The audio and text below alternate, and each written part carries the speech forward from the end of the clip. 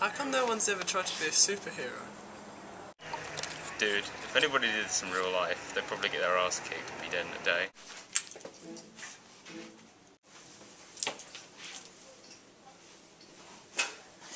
Who are you? I'm kick ass.